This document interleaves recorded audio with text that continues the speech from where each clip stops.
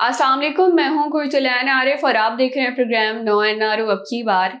Nazi इंतहाई अफसोस से कहना पड़ता है कि हमारा माशरा जो है, वो दिन ब दिन बदहाली की जानब जा रहा है। आए दिन खातन के साथ तशद के वाक़ात हमारे सामने आ रहे होते हैं स्पेशली हम रेप केसेस की बात करें कि लड़कियाँ यंग लड़कियाँ हों टीन एज बच्चियाँ हों, बहुत छोटी बच्चियाँ हों रेप केसेस हम देख रहे होते हैं कि कितने सामने आ रहे होते हैं। ऐसे ही एक केस जो है वो इस्लामाबाद से हमारे सामने आया कि इस्लामाबाद में एक प्राइवेट कंपनी के मालिक थे चाइनीज़ सिटीज़न है वो, और उन्होंने अपनी कंपनी में काम करने वाली लड़की को ज्यादती का निशाना बनाया। अच्छा ये सारा मामला जो है जब पुलिस में गया और कंप्लेन फ़ाइल हुई तो वहाँ मैं आपको बताती चलूँ कि एक सोलह साल की लड़की थी नाइन्थ क्लास में वो पढ़ती थी और पार्ट टाइम जॉब जो है वो उस कंपनी में करती थी, इस्लामाबाद में जो मौजूद थी। वहाँ पे जैसे ही उसकी एम्प्लॉयमेंट हुई है, काम करना शुरू किया है तो उसके बाद उस लड़की ने बताया कि ज्यादती का निशाना बनाया और ये नहीं कि सिर्फ़ एक बार मल्टीपल टाइम्स उसको निशाना बनाया गया, इतना कि वो बेचारी लड़की जो है प्रेग्नेंट हो गई। उसके बाद जो है उसको थ्रेट्स दी गई जान से मारने की और ये कहा गया कि ये किसी को बताना नहीं है। और कंटिन्यूसली जो है आप ये देखेंगे कितना जुल्म किया गया उस लड़की के साथ तो जब वो पुलिस के पास गई है, उसने सारी कंप्लेन करवाई है तो उसने साथ ये भी बताया कि उसके साथ साथ जो है वो चार और लड़कियाँ भी काम कर रही थी उस कंपनी में और सबके साथ जो है वो इसी तरह से जाती की जा रही थी और वहाँ जो है ये जुल्म चल रहा है। तो यहाँ हम देखेंगे, फिर पुलिस में जो कंप्लेन गई उसके बाद पुलिस ने एक्शन लिया और तमाम तर चीज़ें जो है वो कार्रवाई वगैरह हुई है। और जो बंदा था, जो चाइनीज़ कंपनी का जो मालिक था तो उसका नाम मैं आपको बताती चलूँ, उसका नाम था केमिंग जैंग और उस लड़की ने ये भी बताया है कि जब ये जो है 2021 में उसकी एम्प्लॉयमेंट हुई है और फिर वहाँ से उसके बाद जो है, वो ज़्यादा के ये जो मामला हैं पेश हुए हैं और इसकी जो एफ़ आई आर है, वो न्यूज़ थ्री सिक्सटी को भी मिल गई आप हमारी स्क्रीन पर भी देख सकते हैं कि वो एफ़ आई आर जो है, वो स्क्रीन पर चल रही होगी। अच्छा उसके बाद हम ये देखें कि डॉन न्यूज़ की एक और खबर आई है कि एक चाइनीज़ सिटीजन और उनके जो है, उसके साथ कुछ दोस्त थे। मरकज़ एफ़ एलेवन मरकज़ जो है इस्लामाबाद में, वहाँ पे जो है उन्होंने एक खातून के साथ, एक लड़की के साथ छेड़छाड़ की है, बाकायदा हरासमेंट करने की कोशिश की और वो जो लड़की थी, उसके साथ उसके फादर भी मौजूद थे और जब फादर ने बाकायदा तौर पर तमी किया कि नहीं रोका उनको, लेकिन फिर भी वो ना रुके और इस तरह से लड़की के साथ जो है वो हरासमेंट करते रहे। फिर किसी ने पुलिस को कॉल कर दी, जैसे ही पुलिस की गाड़ी आई तो वो वहाँ से भागने लगे थे, लेकिन वहाँ जो मौजूद लोग थे जिन्होंने विटनेस किया था कि ये जो है वो इस तरह से लड़की के साथ बदतमीजी कर रहे हैं तो उन्होंने क्या किया कि फिर उस उन बंदों को रोक लिया और फिर पुलिस के हवाले कर दिया। और फिर हम वहाँ पुलिस की देखें कि वो जो बंदे थे वो कहते थे कि हम जो है वो डिप्लोमेट हैं और आप हमें गिरफ़्तार नहीं कर सकते और ये तमाम तर चीज़ें चलती रही हैं।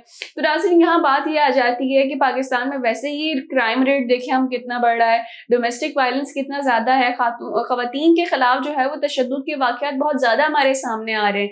पिछले दिनों की बात है कि हमने देखा था कि किस तरह से आर्टिस्टिक मिलेनियर्स कंपनी है, वहाँ पर एक खातून के साथ ज़्यादा का मामला पेश आया। बीस से बाईस मर्द उसमें इन्वॉल्व थे और उसके बाद उस खातून की डेथ भी हो गई थी। और उस केस का भी कुछ नहीं बना मीडिया पर भी उस केस के हवाले से कोई बात नहीं हुई। और इसके अलावा हम ये देखेंगे कितने सारे हमारे पास जो है वो रेप केसेस आ रहे होते हैं, कितने सारे फिर वो चाहे छोटे बच्चे हों, बच्चों के अगेंस्ट जो वायलेंस हो रहा होता है खातन पर जो वायलेंस हो रहा होता है, कितने सारे केसेस हमारे सामने आ रहे होते हैं। लेकिन कार्रवाई उस तरह से नहीं की जा रही होती। अगर इन्वेस्टिगेशन हो भी रही होती है तो फिर ये होता है कि उसको कोई फ़ायदा नहीं होता। क्यों? क्योंकि जो होना होता है, वो तो लड़की के साथ या बच्चे के साथ ज़्यादा हो जाती है, लेकिन फिर वो जो मुजरिम होते हैं, उनको भी सही तरह से जो है वो कार्रवाई नहीं की जाती और उनको पकड़ा नहीं जाता, ताकि बाकी जो लोग हैं वो भी देखें। और इसके अलावा अगर हम चाइनीज़ की बात करें तो पाकिस्तान में वैसे भी जो है वो चाइनीज़ कंपनीज़ बहुत ज़्यादा हैं। इसके अलावा चाइनीज़ जो लोग हैं, वहाँ के जो सिटीजन हैं, वो यहाँ पे आ गए हैं, बहुत मुनजम तरीके से जो है वो पाकिस्तान में उन्होंने काम करना शुरू कर दिया है। और इसके अलावा अगर हम वायलेंस देखें तो कहा जाता है कि चाइनीज़ की जो नेचर होती है, उसी में वायलेंस होता है, लेकिन यहाँ हम ये देखेंगे किस तरह से लड़कियों के साथ जाति के मामला पेश आ रहे हैं। अब अगर वो देखें नाइन्थ क्लास की वो बच्ची थी, सोलह साल उसकी उम्र थी और फिर उसके साथ क्या वाक्य पेश आया, फिर जो साथ में उसकी मौजूद लड़कियाँ थी, उनके साथ भी यही होता रहा। फिर इसके अलावा एक और केस हमने देखा था सोशल मीडिया पे भी वो काफ़ी वायरल हुई थी वो चीज़ कि किस तरह से एक आउटलेट में काम करने वाला लड़का था सेल्स बॉय था बेसिकली वो। और वहाँ पे जो काम करने वाली जो मैनेजर थी, वो चाइनीज़ थी, उसके साथ कुछ उसकी गड़बड़ हो गई तो वो औरत जो है, वो उस लड़के को मारना शुरू हो गई। तो यहाँ हम देखें कि चाहे लड़की कोई औरत एक लड़के पे जुल्म कर रही हो या मर्द किसी लड़की पे कर रहा हो तो दोनों बराबर होते हैं। और यहाँ ये हम देखेंगे किस तरह से चाइनीज़ जो है पाकिस्तान में मुनजम तरीके से बसते जा रहे हैं।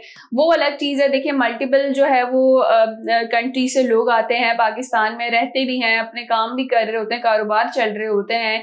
लेकिन इस तरह से जब केसेस हमारे सामने आ रहे होते हैं कि किस तरह से जुल्म किया जा रहा है, उनकी जानब से तशद किया जा रहा है और किस तरह से जो है फिर उनके अगेंस्ट कार्रवाई भी नहीं कर सकते। क्यों? क्योंकि इंटरनेशनली जो है वो काफ़ी सारे मसले मसाइल हमारे सामने आ जाते हैं। अगर हम पुलिस से बात करेंगे तो पुलिस भी जो है वो सौ किस्म के मसले बता देगी कि इनकी जो एम्बेसी है वहाँ से ये आ रहा है या फिर काफ़ी सारे जो है वो चीज़ें आती हैं। लेकिन अगर हम ये देखें कि हेरासमेंट वैसे ही पाकिस्तान में बहुत होती है खातन के साथ चाहे वो स्कूल जाने वाली बच्चियाँ हों चाहे वो यूनिवर्सिटी गोइंग हो वर्क प्ले, प्लेस हरासमेंट कितनी होती है। और ये बहुत आ, हम देखें कि सेकेंड एग्ज़ाम्पल हमारे सामने आ रही है। एक ही हफ़्ते की बात है कि पहले जो है वो आर्टिस्टिक मिलियनर कंपनी से आई है कि वो और लड़की भी जो है वहाँ काम करती थी और किस तरह से जो है वो ओवर टाइम का कह के उसको रोका गया और फिर जाति का निशाना बनाया गया। फिर उसकी डेथ हो गई और फिर ये कहा गया कि ये बिल्कुल लवारिस और इसका कोई कुछ नहीं है। और फिर जो है वो उसके आ, कहा जा रहा था कि फादर को पैसे दे के चुप करा दिया गया। मीडिया पे उस हवाले से कोई बात नहीं हुई।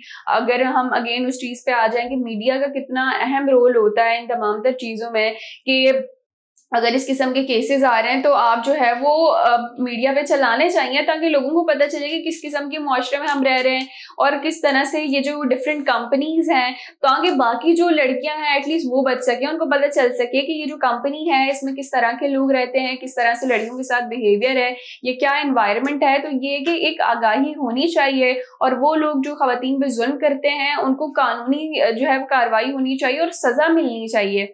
आप ये देखें कि वो लोग जो जुल्म तशद करते हैं। अगर हम यही बात कर लें कि ये जो कंपनी में जुल्म हुआ था आर्टिस्टिक बिलियनर्स कंपनी किसी एक एम्प्लॉय को भी सजा नहीं मिली, वहाँ का कोई एम्प्लॉय गिरफ़्तार नहीं हुआ, कोई खबर नहीं चली मीडिया पे और कोई कार्रवाई नहीं, और पुलिस भी जो है वो चुप करके बैठ गई। ये कहा गया कि लड़की जो है वो नशे की ज़्यादा से उसकी डेथ हो गई कि नशा ज़्यादा कर लिया और इस वजह से उसकी डेथ हो गई। और मज़े की बात यह कि वो उसी कंपनी के पास आके, उसके कंपाउंड के पास आके मर गई। तो ये ये आप देखेंगे किस तरह की कहानी गढ़ी गई। बिल्कुल कोई स्टेप नहीं उठाया गया खातन के लिहाज से। इसके अलावा अगर हम यहाँ ये देखें कि जो आए दिन जो है वो हम केसेस देख रहे होते हैं स्पेशली पब्लिक में क्राउड में जो केसेस होते हैं, किस तरह से खातन के साथ हेरासमेंट हो रही होती है और किस तरह से जो है वो फिर जो है वीडियोस वायरल होती हैं। हम देख रहे होते हैं कि मुख्तलिफ़ जगहों की वीडियोस वायरल हो रही होती हैं। अब आप इस्लामाबाद को देख लें कि इस्लामाबाद जैसा कैपिटल जो है इस्लामाबाद को पाकिस्तान का बहुत अच्छा शहर समझा जाता है, कहा जाता है कि वो बहुत अच्छा है क्लीन है सेफ़ है। लेकिन वहाँ पे ही हम देखें कि इस किस्म के वाक़ात सामने आ रहे हैं कि खातन को हरासमेंट का निशाना बनाया जा रहा है। वो भी चाइनीज़ की जानब से। तो देखें, अगर कोई और नेशनल आता है, कोई और बंदा आता है किसी और कंट्रीज़ से और चाइनीज़ हम बात करें तो वो ये केसेस जो है, ये काफ़ी बढ़ते जा रहे हैं। ये एक दो केसेस हमारे सामने आए लाइन से। इसके अलावा मजीद जो है मल्टीपल केसेज आ रहे होते हैं। बिल्कुल हम उनके अगेंस्ट नहीं है, लेकिन बात यह है कि जो चीज़ जैसी है, हमने उसको वैसा रिपोर्ट करना है। उम्मीद तो यही है कि हमारी पुलिस भी जो है, उनको वैसी ही सजा दे, अगर कोई पाकिस्तानी बंदा कर रहा होता और उनके साथ भी उसी किस्म का जो है, वो सलूक रखना चाहिए। और ये जो बढ़ते हुए वाक़ात हैं खातन के साथ तशद के, हमारे स्टेट को चाहिए कि वो एज अ होल हमारी सोसाइटी के लिए कोई लॉ बनाए, कोई स्टेप उठाएँ, ताकि खातन जो है, इस माशरे में महफूज रह सकें। नाजिन ये थे हमारा आज का प्रोग्राम फिर हाजिर होंगे नए मौजू के साथ। तब तक के लिए इजाज़त दीजिए। अल्लाह ने